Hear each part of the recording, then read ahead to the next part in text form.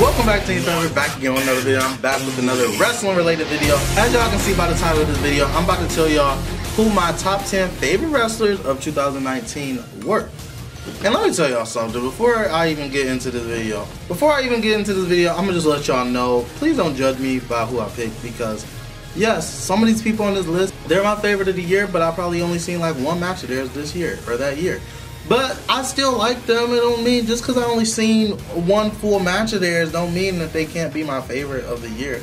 Let me tell, because I, I I one time asked my cousin like, who's your favorite wrestler from like the '80s? And you probably probably never seen that match. And he said Bret Hart, which is understandable. Like my favorite wrestler from like back in the '80s or whatever is Macho Man, and I honestly don't think I even seen one match of his. I think I've probably seen one, maybe not two. I know I haven't seen three, but you know, so don't judge me, all right? So starting off with the list, I can like them for other reasons than their match, okay? Like, case in point, number ten. Favorite wrestler of the year 2019 is Sammy Guevara. All right, I just got into Sammy Guevara, and first of all, I didn't know who he was until AEW launched. So whenever the AEW first episode was it October, October, November, December. So three months I've known who Sammy Guevara is, right?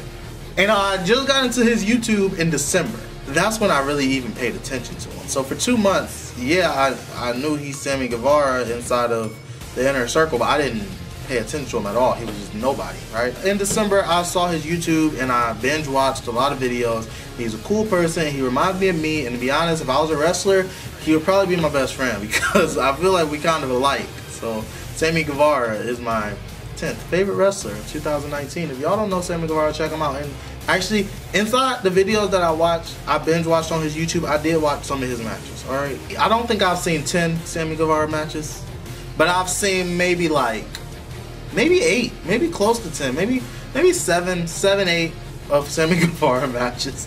but I've seen a lot of his stuff, and I like Sammy Guevara, so he's my 10th favorite. Number nine. All right, number nine. These are like these are like people I'm looking out for. Like they're gonna be like, you know, I don't know. So I met him, and he was super cool. He was super nice. I was at a Ring of Honor show. It's actually this is vlogged on my channel. I was at a Ring of Honor show, and he had a match, and the match was only like three minutes apparently the match was with his brother. I didn't even know that they were brothers until like a couple days ago. But he he caught my eye. He was so intense. The way he wrestled, the way he like came out. The fans were chanting for him, and I had never seen him before. And I was like, world champ. He's gonna be world champ. Ring of Honor, world champ. Y'all know who I'm talking about. Roosh. Roosh is my number nine favorite. He is so intense. His matches are good. I went back and I watched some of his matches. I at that show, I knew he would win the Ring of Honor World title, but I did not know he was going to lose the Ring of Honor World title because I heard that he lost it. And I, I had to look it up because I'm like, is he the shortest shortest reigning Ring of Honor World Champion of all time? Because I know Ring of Honor, they usually have the titles for a while, but thank God he's not. But I love Rush, his matches, and I love his finisher. His finisher, his move set, the way he wrestles is, I describe it as intense. He's an intense wrestler, and I just, I really like Rush. If y'all don't know Rush, y'all should check him out. He's really good. I like Rush. Number eight, I pick Taiji Ishimori. Taiji Ishimori is my eighth favorite because um, he's on my game, on my universe, and I play as him a lot, and I like his moveset, and I like his matches because I went back and I watched Wrestle Kingdom from last year. I liked his match. I like his look, the way he wrestles. I like the mask. I like, I like, I like him. Want big things for Taiji Ishimori, and I like the fact that he's not in WWE. You know, because Nakamura, I think, is probably one of the coolest wrestlers of all time, but he's in WWE doing jack crap, even though he's the Intercontinental Champion. And I just, I can't get on board with it. But Taiji Ishimori is inside, and I hope I'm saying his name right, but he's inside New Japan tearing it up. And yeah, I like, I like, I feel like he's a little different. So I like his attire, the way he wrestles, his look, like so Taiji Ishimori is my number eight. Number seven, I had to put him on this list, and I'm surprised he's not number one. Uh, New Japan. When I first got into New Japan, I'm not really into New Japan yet, but when I first knew what it was and started watching a little bit here and a little bit there, he took my eye, and I love his finisher. Love every everything about. Number seven is the Rainmaker. I even love his nickname, the Rainmaker Okada. You say his first name, Okada. I usually just say Okada. Kazuchika Okada. I don't know how you say his first name. But I don't really got much to say about him. I, I look up his matches all the time. I do need to look up what he did in 2019 though. Because I feel like all the matches I watch are from like later. No, not 2019. I need to look up his matches from 2018, that year. Because what? Why did he wear pants and all that? His hair was a different color. I, I don't know what was going on there. So I need to look that stuff up. But I know that his matches are always good. His finisher's good. His entrance, I love his entrance music. I like, I like he. I when I first got into New of New Japan, I equated him to Randy Orton and Hiroshi Tanahashi to John Cena. It was when Hiroshi and Okada were in a big feud. Number six, Zack Sabre Jr.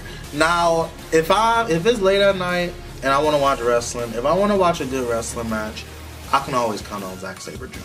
I love the way he wrestles. I love the holds. I love like the way he twists people up and his his submission style, his style. Period. I just I love Zack Sabre. Jr. I can watch whenever I need some wrestling, some good wrestling. I can always count on Zack Sabre Jr. Love the way he wrestles. Not much of a personality to me. Number five, speaking of personality, this one is a big personality, is Adam Cole, baby. And the reason why, I wasn't even that big a fan. I was a fan, but not like huge fan. When he was in Ring of Honor, or I really didn't like that he joined the Bullet Club because I felt like he was good by himself. But NXT, he held that show down. He was champion for like the whole year. He had the feud of the year, best on mic, best in ring, best matches, best group. He was winning ma- even with a good group. He was winning matches by himself, and the people in his group was winning matches by himself. He he was booked good, obviously. He was booked good, but he's just the best. Adam Cole was like the best in WWE he's the best. So he was definitely superstar of the year in WWE. So Adam Cole, number five. He, his moveset, everything about him. I don't need to keep talking about him. Number four, I love this person. I was, oh man. Pentagon Jr. Rey Fenix. But in this, I have Pentagon because I just, when I first saw him, I'm like, what the heck? Like his look is amazing I don't know how old he is because he got to be young. He has to be young because his debut year was like not that long ago. But like the way he look, he can be old, he can be young, and like people keep on like dressing up as him. I saw Chris Jericho dress up as him. Chris, uh, Christopher Daniels dressed up as him. Christopher Daniels did it again. Like they just love taking his attire because it looks cool. That's probably why. Like I, I need to dress up as him for Halloween. Like his look alone, but then his Zeno, Zeno, I love that. Like, seemed like it would get annoying as hell because they do it every match. But I just, I love Pentagon Jr. And I love the name, Pentagon Jr. And his tag matches, everything about Pentagon. I like him. Number three, going back to Zack Sabre Jr., I can always count on this person to have good matches too. And he was probably the, I don't think I've seen any of his matches from 2019. This is weird. Now y'all are gonna come for me because I didn't see none of his matches in 2019. But I watch his matches at night. Like if I'm watching wrestling and I'm, or even like during the day if I'm watching wrestling, I need to watch a good wrestling match. Will Ospreay. Will Ospreay. I love his finisher.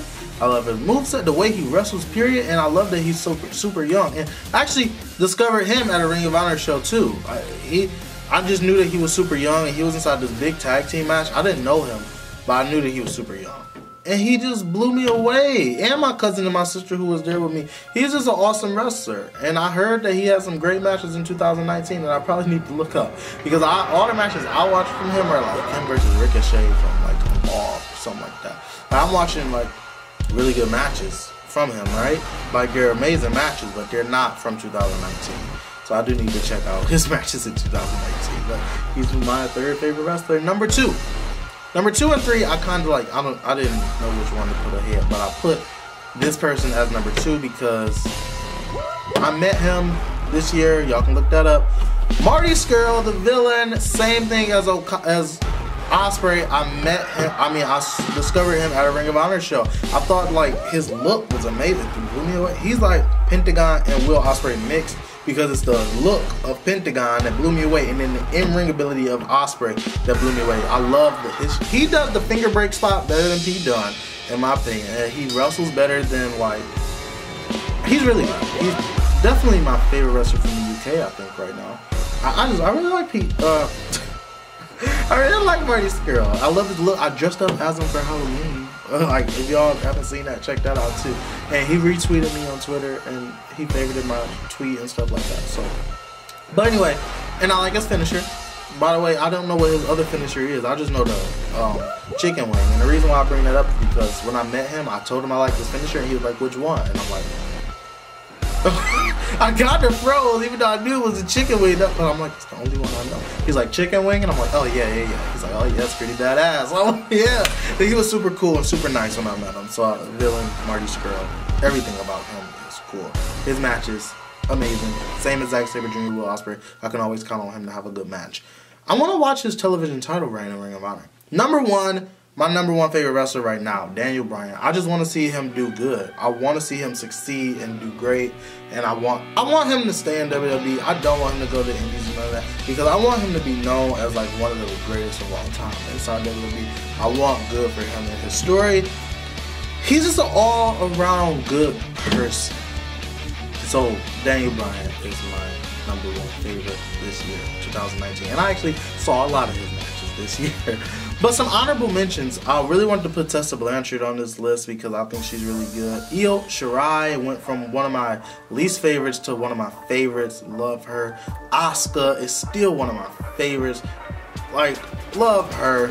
Uh, and then Austin Aries, I actually wanted to put on this list because I just I really like him. I feel like he get a lot of flack, which he shouldn't get. So Austin Aries, also the Young Bucks. I didn't put them on here. Rey Fenix wanted to put him, but Rey Mysterio has reinvented himself, but the people from Japan like Hiroshi Tanahashi, Kota Ibushi, Kushida, I know he's in WWE now, but you know, like Street Profits, like I wish I could put a lot of people on this list that I didn't, but it's top 10. But be sure to leave y'all votes or y'all listen inside the comment section down below as well as leave this video a like, comment, subscribe, share it on all forms of social media, and until next time, catch you later.